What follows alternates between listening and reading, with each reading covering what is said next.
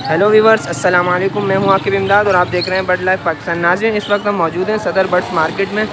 तो यहाँ की सूरत अभी लोगों के आमदोरफ्त जारी है और अभी तक मार्केट बिल्कुल ठीक से नहीं लगी। अंकल आ चुके हैं यहाँ पर। ये देख सकते हैं इनके पास। भी बेहतरीन अच्छे अच्छे बर्ड्स होते हैं। इसके अलावा लोग अभी कुछ आ रहे हैं सामान लेकर।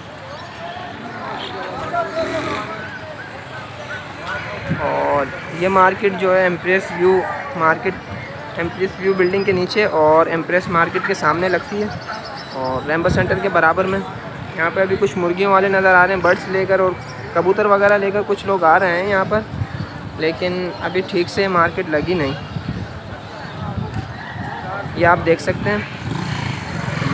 इसके अलावा कुछ कुछ बर्ड्स वाले भी मौजूद हैं यहाँ पर, लेकिन अभी ठीक से मार्केट लगी नहीं। लेकिन मार्केट की आमदोरफ्त स्टार्ट हो गई है यहाँ पर भी। तो बहुत से व्यूवर्स कह रहे थे कि आप सदर की वीडियो भी बनाएँ तो आज सदर की वीडियो भी शूट करेंगे। तो इससे पहले आप देख सकते हैं यहाँ पर कि कुछ कुछ लोग लेकर आ रहे हैं। और ये बिल्कुल इधर थोड़ी बहुत मार्केट यहाँ पर भी लग चुकी है। इसको भी देख लेते हैं कि यहाँ पर कौन कौन से बर्ड्स लोग लेकर आ चुके हैं।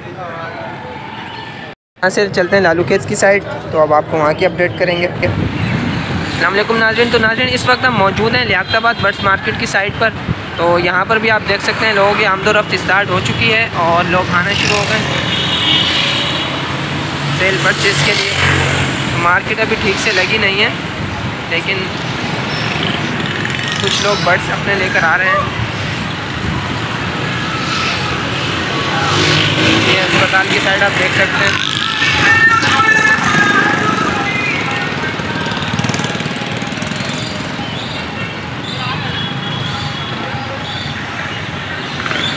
यहाँ पर भी कुछ, देखें आप, यहाँ तो रश वगैरह बिल्कुल अच्छे से लग गया और इस टाइम पर दस बजकर दस मिनट हो रहे हैं और मार्केट बेहतरीन लग चुकी है।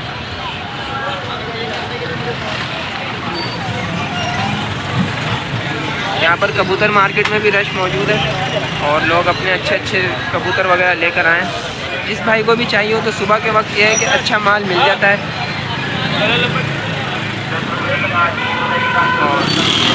जाल वाले भी अब कुछ नज़र आना शुरू हो गए हैं कि जाल वालों से भी कुछ देर में आपको जाल की वीडियो भी अपडेट करा देंगे।